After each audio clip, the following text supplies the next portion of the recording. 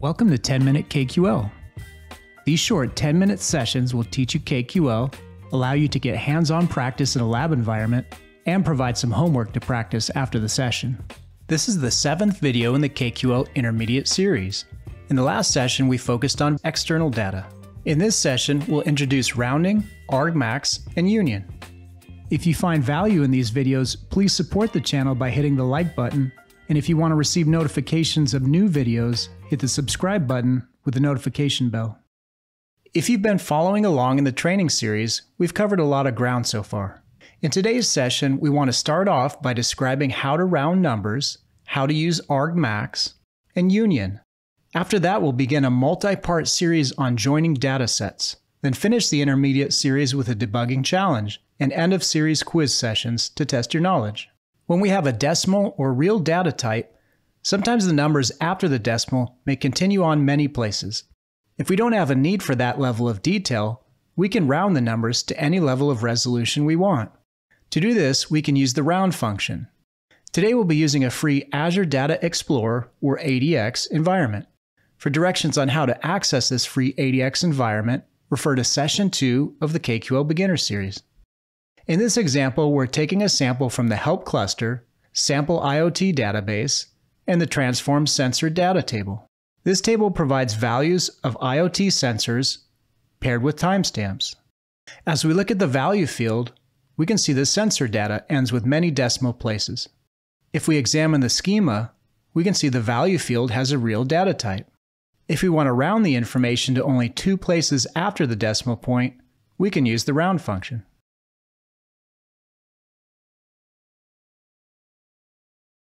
If we need to, we can still rename the field in this way. In previous sessions, we used min and max with summarize to find the minimum and maximum values of a given field. We can also use the argmax function.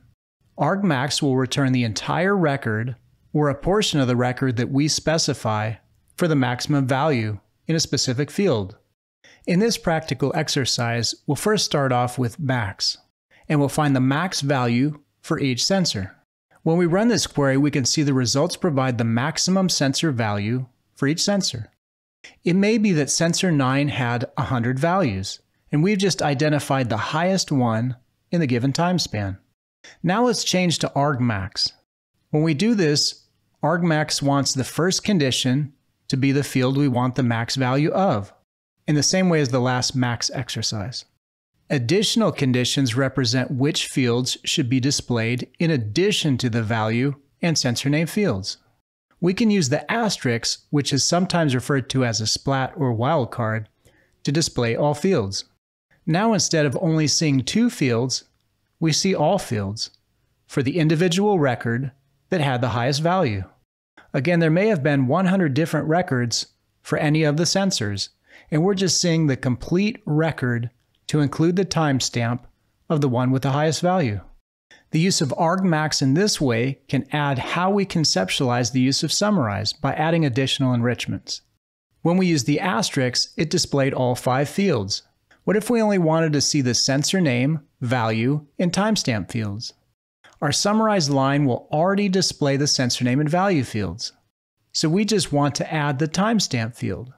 Instead of the asterisk, let's type in timestamp we can see that when we use argmax, it's almost like a project statement, in that we can just keep adding additional fields we want to see to further enrich the summarized data of the record with the maximum value.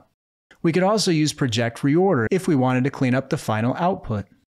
Keep in mind, when working with timestamps, the max value is the latest or most recent timestamp, and the min value is the earliest or latest timestamp. In this example, we're taking a sample from the sales table. To organize the data, let's first sort by first name, then last name. We can see all the purchases by Aaron Adams. What if we want to see the record that shows the highest total cost for Aaron? We can first filter down to Aaron Adams, then summarize using argmax. Now, if we want to see the complete records for each combination of first and last names, we can just take out the first two filters. To add some order to the output, we can sort by first and last names. Using this query, we should be mindful that it's possible to have two or more people with the same first and last name. So it's better to use a unique customer ID. In the lesson so far, we've been working with one data set at a time. Sometimes our data sets are organized where we can have many fields in different tables that can be joined together to help solve problems. For the rest of this session, and in the future sessions in the intermediate series, we'll talk about the many ways to combine two or more data sets together to answer questions and solve problems. In previous lessons, we described the difference between contains, has, and double equals. One option may be more precise, and one option may be more flexible. Each option may have its own use case. Contains may use more resources than has, which uses more resources than a double equals. When selecting the right option between contains, has, and double equals, we compare precision to processing power and include the use case. Using a similar formula, we can decide how to combine data sets and which is more efficient, which is more precise, depending on the use case. The first option we want to show is how to combine two data sets with union. A union between two data sets places all the records from each data set together in one unified data set. We don't need a key to join the two data sets together since all the fields will simply merge into one data set. As you can imagine, this uses a lot of processing power since there's no real filtering happening if we use union alone. In this example, Let's start out by taking a sample of the sales table. We can see it has about 15 fields and contains purchasing information on customers. Next, let's take a sample of the customers table. We can see it contains roughly 12 fields that contain information on each customer. What would happen if we simply merged both tables together with union? We can do this in a couple different ways. First, let's set two variables, and the first will represent the customers table, and the second will represent the sales table. On the next line, let's use union, followed by our two variables. If we ran the query right now, there'd be an incredible amount of data and processing power being used, and the query may time out or fail. So let's take a sample of 100 records. We've now combined the two data sets. Right away, we can see that some fields have information and some do not. We can also see the total number of fields grew, so we have fields of both tables. Let's sort these tables by first name, last name, and city name. The first and last name fields are from one table, and the city name is from a second table. When we run this query, we see Aaron Adams and all of his sales from the sales table. As we scroll down, we see one record at the end before it moves on to the next person. When we scroll to the right, we see fields from the second table. We notice that there's one field that seems to be in both tables, which is a customer key. This key ties both fields together. We also see a product key, and we may want to use that key later to join additional tables. Let's summarize a count by first name, last name, customer key, and city name. So we have fields from both tables represented. When we run this query, we can see we have fields from the sales table along with fields from the customer table. While it's possible to union more than two data sets, you should be careful to narrow down the results to just the information you need because it can be very resource intensive, depending on the size of your data set. Since union combines all fields together, which takes more resources, it may not make sense to only display four fields. In this case, we could have narrowed down the fields before the union, or we could have used a join. We'll learn more about joins in our next session.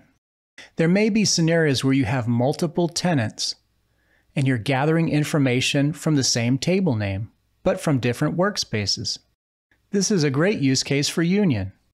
As we'll see in future sessions, the join is more precise, consumes fewer resources when optimized, and there's a common key to link the data together with. For homework today, use the free ADX environment. If you need directions on how to access this free environment, refer to session 2 of the beginner series. Working in the Help cluster and Contoso Sales Database, write a query that unions the sales fact and customer tables together. Show results that display the first name, last name, customer key, and state or province name. Take a sample of 100 records so the query doesn't time out. Post your query in the comments section of the video to learn with and help others. That's all for today's session on rounding, argmax, and unions. In the next session, we'll begin part one of joins. If you find value in these videos, please support the channel by hitting the like button. And if you want to receive notifications of new videos, hit the subscribe button with the notification bell.